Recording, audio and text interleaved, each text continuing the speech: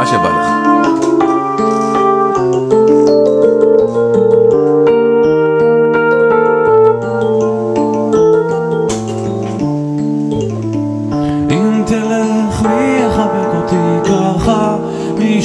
אם בסוף היום מי ינחם וירגיע רק אתה יודע ואם תלך למי יחכה בחלון בשמלה שלך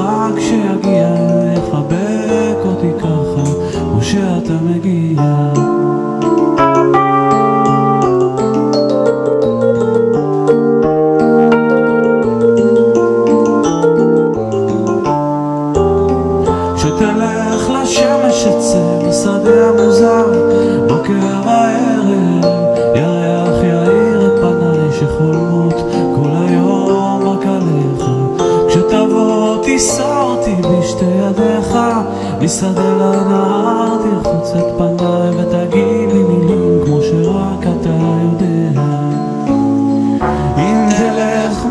מי יחבק אותי ככה.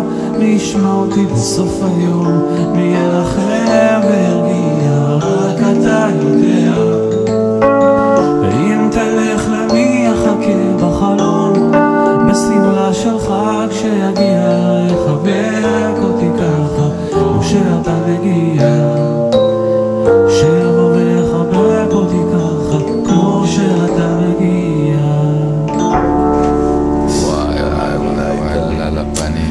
בפנים. איי, טוב.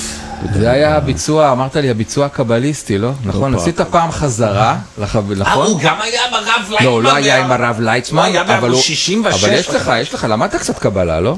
לא קבלה, הדבר היחידי זה שניסינו, אה, למדתי בקבלה שהם לומדים בשלוש, ארבע לפנות בוקר. נכון. שזה שעות מאוד טובות. אז אמרתי ללהקה שאנחנו צריכים לעשות חזרה בשש בבוקר, הם רצו להרוג אותי, אבל עשינו חזרה בשש בבוקר. כולם קמו ככה בארבע וחצי, חמש.